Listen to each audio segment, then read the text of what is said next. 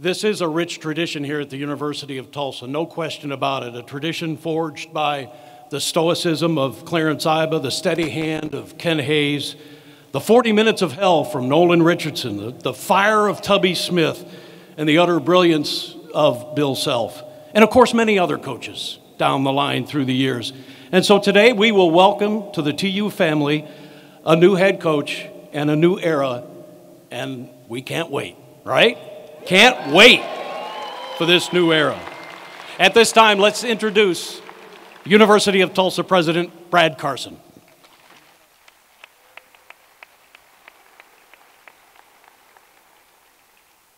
Good afternoon. Welcome to the University of Tulsa, to Reynolds Center. Congratulations to our women's team. We loved your season. And congratulations to you all for being here. Today we begin an exciting new chapter in the extraordinary history of Tulsa Golden Hurricane men's basketball.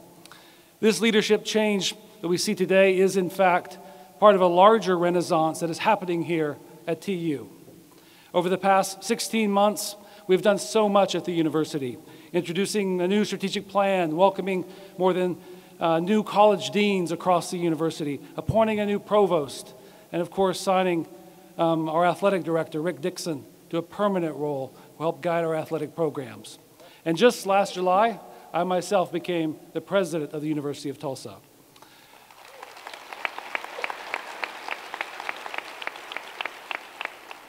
These moves and many more are redrawing the horizon of possibility for the University of Tulsa. They are also extending the tradition of changing with the times, developing outstanding talent, and partnering with this great city that gave the university its name. The connection of the past and the future is the very nature of what historians might call a renaissance, linking what was with what can be. We take our best traditions and we remold them for the future. This year is the start of that renaissance for the University of Tulsa. And today, we are elated to launch a renaissance of Tulsa Golden Hurricane men's basketball. As we welcome our new head coach, Director Dickson will do those honors in just a moment. But let me say also that as we think about new possibilities, we must remain inspired by our best traditions the spirit and drive of coaches, staff, and players from the days, as Bruce said, of Nolan Richardson, Tubby Smith, Bill Self. These men are on the Mount Rushmore of TU men's basketball. But as all of you know, Mount Rushmore has four faces. And today we have an empty slot for our new coach, who I feel very confident will someday join those great basketball coaches in the history and lore of the University of Tulsa.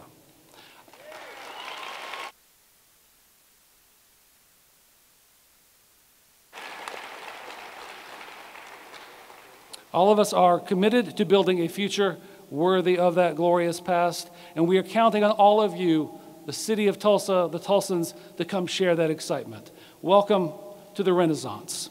Now it's my pleasure to introduce TU's Director of Athletics, Rick Dickson.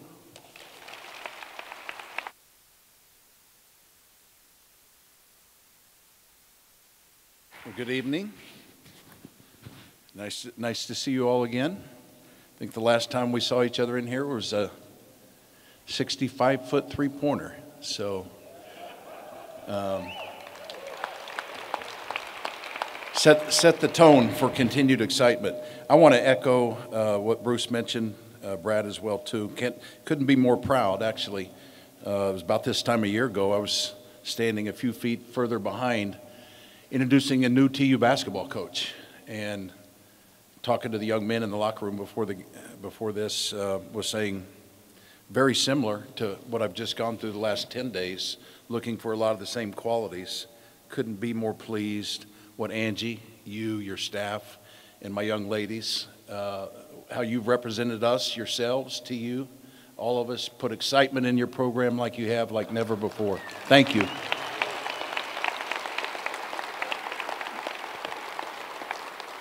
You know, as usual, the ladies are always the smartest, and I got to see them last in um, in Fort Worth and coming back, driving back to Tulsa.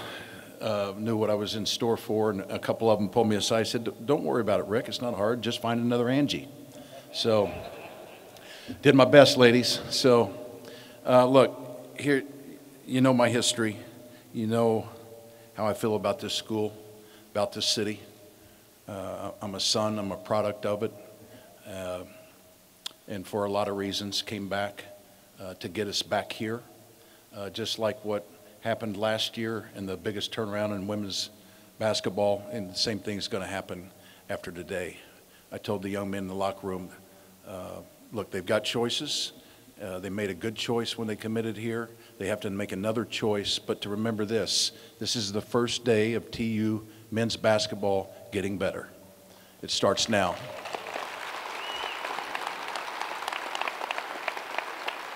So, I'm not the one you want to hear from, uh, but just quickly would tell you the things that you would expect, the things that we value here character, uh, people that appreciate what this university is, what it's always been, uh, the history, the intertwinement in this city. We've always been here. We represent the best of this city. Uh, th- those things were important. Somebody that valued that, somebody that brought the highest character, somebody that was dedicated to the development of student athletes. That's what we've always been. We've been a developmental program. Not many of us have come in as five stars, but a lot of us have left as five stars. We're a developmental program. You heard Brad, he actually stole my line, the Mount Rushmore thing, but the, uh, those three guys, you know what I told the team? In the last 42 years, 10 men's coaches since 1980 have left here with winning records. Think about that. Six of those went on to other places. Three of those won national championships from this school. Not many people can say, or schools can say those two things 10 years, 10 coaches, 42 years of winning records, three coaches that left here and won national championships. I found out firsthand the last 10 days the Tulsa basketball brand is still strong in the country, still very strong. But I had to find the person, the people that understood. In this metro area of 1.2 million, only half a percent either have gone to school, in school, or work here. Think of that half a percent. Well, you can do the math and understand the dynamic. We have to have people that compel, engage, and become part of this community.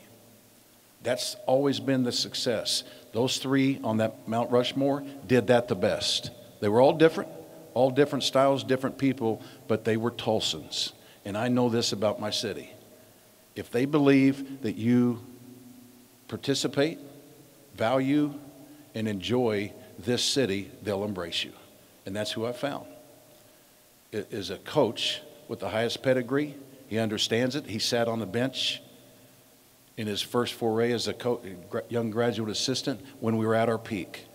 He went to places that, much like us, that went to their one and only Final Four in their history and was an integral part of it. He went to a place that really didn't have a history in men's basketball and helped create one. And, and very much like the University of Tulsa in a city where most people weren't connected. One of the best stories I heard was from Coach Larrañaga at the University of Miami, who said the, the running story each week of the staff was what promotion is Eric going to come up with next? Because we've had Cuban night, we've, we've had dog show night, we've had kids' birthday party nights. So I like that kind of creativity because we've got to connect again with Tulsa. It's the brand of our program, it's the brand of our school, it's the brand of the city. So I'm proud to introduce to you the person that I found that will do that, Eric Konkol. Thank you very much. Yeah, thank you.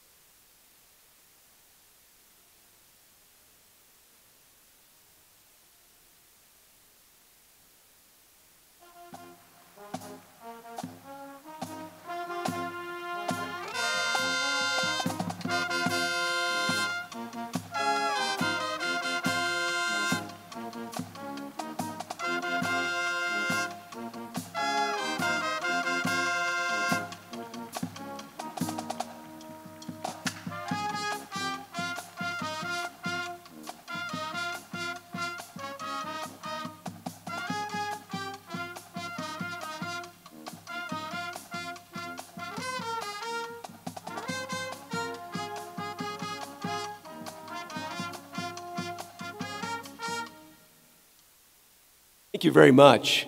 It is great to be back in Tulsa. Thank you very much, everybody. Want to say thank you to everybody for being here and for those watching online. Um, thank you, President Carson and Rick Dickson, the Board of Trustees here at TU for their confidence in me and bringing me back to Tulsa. On behalf of my family, we are absolutely thrilled and excited to be here with you, grow our family here in Tulsa, and be a part of this TU tradition while building a first class basketball program that, that can withstand the test of time and we are super thrilled about that. Uh, we, can't, we couldn't be happier to be here, and we cannot wait to connect with everybody starting tonight. Being able to hang out with one another. Of course, we're going to be getting settled here over time, but we cannot wait to connect with this community in a special way. Uh, I'd like to introduce my family here. Uh, this is my wife, Megan. Yep. Uh, we met in college. Uh, we were both participating in basketball. She's the real player in the family. Unless you ask our children. Um, this is Ethan in the red, and it's his 13th birthday today.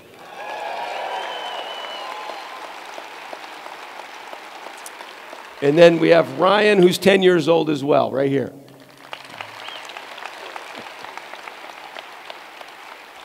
But we are absolutely uh, looking forward to diving into this community with both feet and, and becoming a part of Tulsa and everything that's great about it.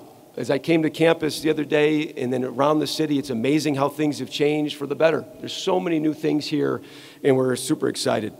Um, I want to also take the opportunity to thank Louisiana Tech University um, and the Ruston community there for all their support during our time there. Dr. Guice, our president, Tommy McClelland, that hired me, Dr. Eric Wood, that supported us as athletic director the last two years, Steve Davidson, uh, and countless others. And my greatest thank goes out to the players that I was so fortunate to coach.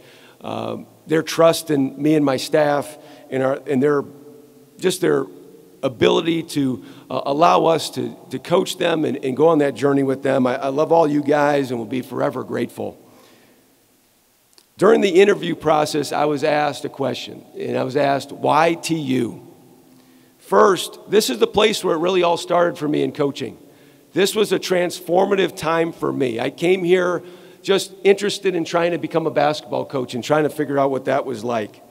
I left here with an invaluable experience of seeing a university, a group of special players, and a community all intertwined and aligned to create something special. And that's what we're here to do again. Community, the university, special players, all working together to achieve something great. Second, there's great potential here. You can see it. This program has rich tradition with a history built on tough players and a passionate fan base from this city, and I've seen it firsthand. And together, all of us, we, we can do it again. Our goal is to challenge consistency for championships, get to the NCAA tournament, in advance. That's the things that we talk about, getting better every day and doing that.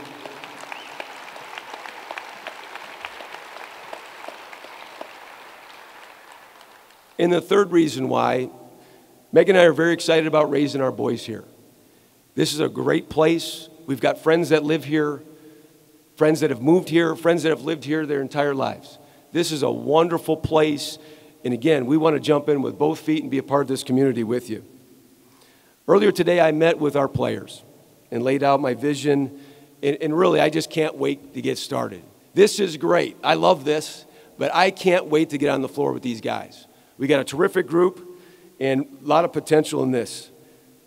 But this is, this is the number one thing for us before we talk about the game.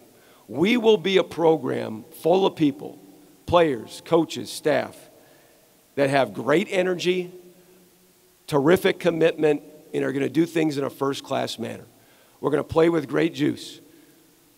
We're going to be a group of guys that are constantly trying to get better, and then we're going to behave ourselves and represent this community in a first class way. We will be aggressive on defense, everybody, in the full court, in the half court. Yeah. We want to create opportunities in transition. The first seven seconds of basketball is the greatest time to catch somebody sleeping. And we want to do everything we can on the defensive end in both half court and uh, full court to create those opportunities for our team, to have a group of versatile guys, a number of guys that can push the basketball. We want guys that can attack the rim. We want to be able to open up the floor with space and shoot the three point shot. If we are in the half court, we want to be able to play with great freedom, to be able to get downhill into the paint, and then make great decisions. To play a free flowing style where guys are using their best gifts to attack this game of basketball. We will play with great unselfishness, searching for the best shot, and play in a way that is fun to watch, but also wins. And that's what this is about. This will also be a players program. This is about the players. And our focus will be entirely on them. We are here for our players, both present and past. For the people that are watching that are here, if you're a former player, we want you back. Our practices are open, our office doors are open. We're going to be reaching out. We want to be able to hear from you and your experiences and support this program and tell the stories of your time here. Our staff will be completely focused on the development of our players. Like Rick mentioned, this is a developmental program. We want guys that are committed to getting better, no matter where their spot is on the team, that they are focused every single day to become the best version of them on the court, in the classroom, and in the community.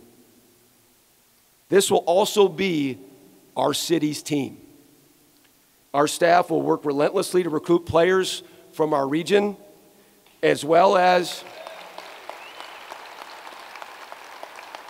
as well as recruit fans from our city so we can create a unified toughness and togetherness on game days. We need all of you now. I can't tell you how excited I am to be here. And to be your head coach after coming here 22 years ago just trying to, to figure this out, I'm always going to keep trying to figure it out. But I'm going to give everything I've got, our family, our staff, our players, to give you something exciting to watch, something to cheer on, and something to be very proud about. Appreciate you all for being here. Go to you now, all right?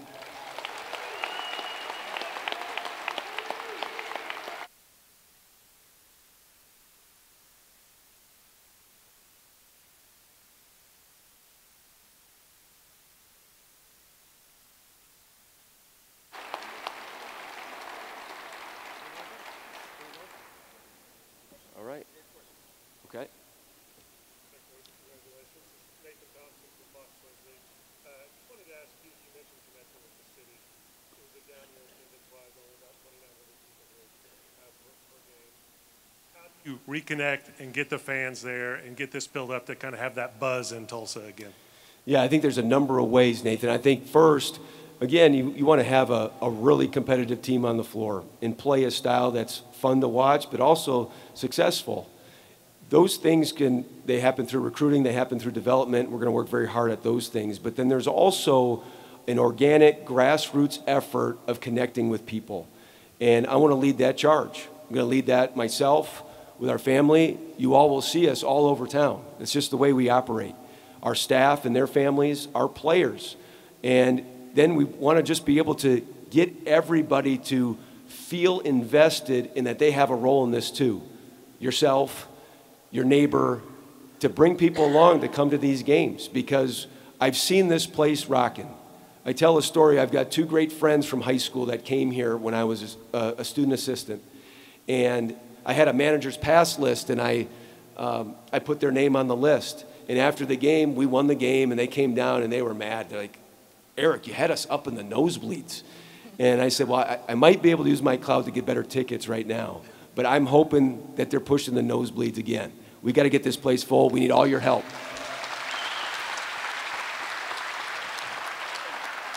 Bill Haisten, Tulsa World uh, coach. No pressure, by the way. You're on the Mount Rushmore. Brad Carson's Mount Rushmore already. Uh, but you see what the Tulsa women have done with the energy of a new coach, what the Iowa State men have done with the new coach, and the portal is undeniably a big deal now. So, what is the reasonable expectation?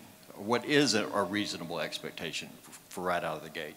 Well, we- what we put on in expectations is we're looking for great improvement.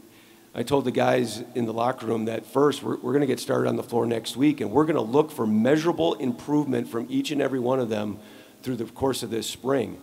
And then with any holes on the roster, we're going to look to, to find ways to improve our team through transfer portal, through, it could be junior college, high school, uh, any type of thing, just based on best available, how they fit, and how we can improve. For, for things on the court, what we're looking for is, is be process oriented with how are we defending? We're going to start there first. We've got to be able to defend. The best teams defend. And then how can we use that on offense? We're going to evaluate that every single day. Where that turns into wins and losses, I know where we want to be, but we're going to put it on that process first. Caden McFarland, 2 News Oklahoma. Um, you mentioned it being a transformative time for you, just the one year you spent here in 2001. If somebody had told you back then that you'd be here today in this position, what would you have thought? Oh, I would have thought they were crazy. You know, the, the, I, I remember clearly we won the NIT and came, in, came into here, and this place was packed, cheering on that team. It was an unbelievable group. I was a small college player, and I jumped right into this. And what I mean by transformative is it opened my eyes up to so many different things. And I, I was very fortunate, even just that one year. And I know, I know Coach Peterson was here that one year. I, I joined him at Tennessee, but that coaching staff gave me so much responsibility as a young guy to just to learn and feel this. And then the people in this community, several of you that were there are here now. Um, so appreciative of you then and certainly now. It was awesome. And, and um, that's really what drew me back here, too, to have that feeling again. Coach Bryce McKenna's Tulsa World. Um, I just want to ask you in the past eight years, TU has only signed one local high school prospect. I know you've already addressed it, but I just kind of want to ask you again what is your strategy to drawing local talent and keeping it at TU? So, our strategy, we call it in our staff, we call it the breadbasket model. The breadbasket's in the middle of the table, that's the center. And your center always wants to, you always want to be in, in, your, in your region. And what I mean by region is as close as possible. We start inside out. Um, in my Louisiana Tech team this last year, 12 of our 14 guys were from within five hours of campus. We had four guys from Louisiana, which was the most that the program had had in a long time. Back in 2006, the George Mason team that went to the Final Four, all five starters were, were from within two hours of campus. Uh, when I was at Miami, we couldn't really recruit east, west, or south because those were fish, you know. So we, we had to go elsewhere. But here, we're, go- we're going to recruit Oklahoma. We're going to recruit Texas. We're going to recruit Arkansas. We're going to get in the car. We're going to work. We're going to meet people. We're going to, we're going to invite them to campus. We're going to show up on their campus. I think you think about your best friends that you didn't just go to their house, they came to your house too. So we want to be able to open up our doors. Uh, we love ball, me and my staff. We want to talk ball all day long, but even more than that, we love people. And so we're going to identify, evaluate.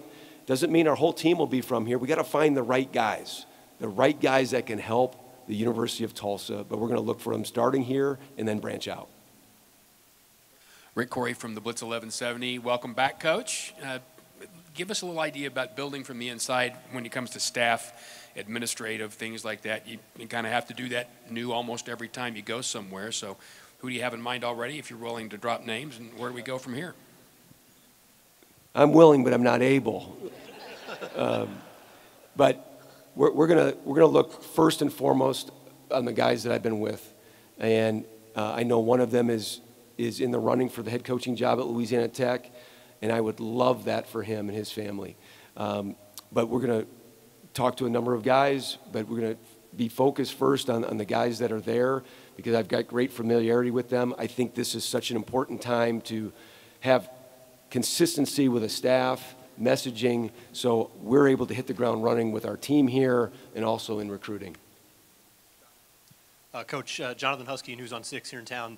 Um, you've mentioned a couple times now how important that first experience at Tulsa was, but to now have your name alongside, as has already been mentioned, the Mount Rushmore, Nolan Richardson, Tubby Smith, Bill Self, some of these great names in college basketball. Just how does that how does that grab you on a personal level? Well, I, I knew that when I was here too. Like the, the, the tradition here is really second to very few. And and just it, it's, it's such an awesome responsibility and, and certainly one that I'm very proud of. To be standing here and, and, be the Tulsa men's basketball, basketball coach is a great honor. It's a great responsibility, and it's something that I don't take lightly. Those are incredible coaches, Hall of Fame type coaches, three national championships, and, and so many others too that have had success here. Um, I will say, with all of that, that, that means that there were some tremendous players here. And, and it's something that needs to be spoken. There's great players that have played this game here. I think about the team that we had back in 2000, 2001, the tradition of players, coaches. This is a basketball job, and it was really attractive to me. This is a basketball city, too, and, uh, and we want to make that at the highest level again. Yeah, Coach Konkol, Chris Lincoln, the Oklahoma sports scene. Just wonder, how are you going to reconnect with high school coaches in this state? What is your thought on the talent in Oklahoma high school basketball? Well, that process has already begun. Uh, we, we reached out just by, by email to every single high school coach in the state to invite them here. Um, while we reached out by telephone to, to certain guys, we're going to get to them all. Uh, we're going to got to be able to have FaceTime with people. That's the way you connect. Um, this, this trust and relationships is, not exactly one speed date. You've got to be able to sit with people. You've got to be able to talk with people. There's a number of things that we want to do from camps and clinics and just really face to face conversations that we can have here, and then also uh, on their campus as well. And we're, we're working on the logistics of that, but our doors are open for people watching, people listening. We want to be the most inclusive staff in the entire country. Um, I'm going to be visible, I'm going to be available, and I'm going to be very inclusive as the head coach here.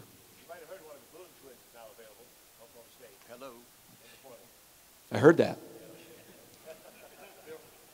Uh, so the building was essentially brand new when you were here, the arena, I mean, and, and today, if anything, it's better than it was then with amenities and uh, renovations and whatever. But, but do you feel like you have everything you need with regard to the facilities and all that uh, coming in. You, it's like a lot of a lot of new coaches have a wish list. I need this and this and this. But do you feel like you're fully outfitted from a facility standpoint to, to do what you need to do? Well, from what I've seen in here, Bill, this is awesome.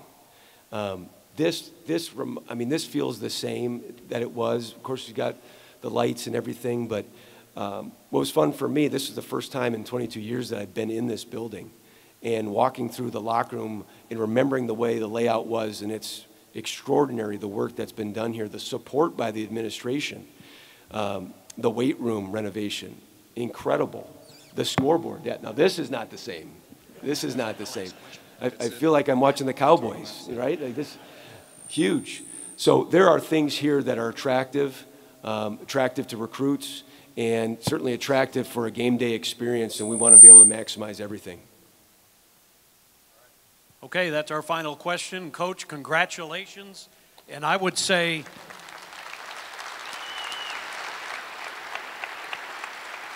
I would say that Coach is 1 0 on the season. He just won the press conference. What do you think?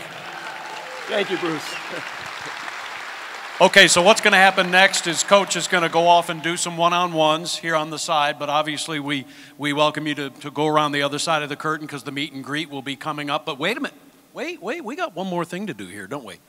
Um, Ethan, this is your 13th birthday, and guess what?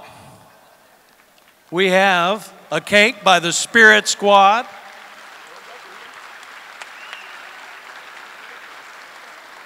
All right, everybody, let's let's all go. Happy birthday. Ready? One, two, three. Happy birthday to you. Happy birthday to you. Happy birthday, dear Ethan. Happy birthday to you. How about that, huh?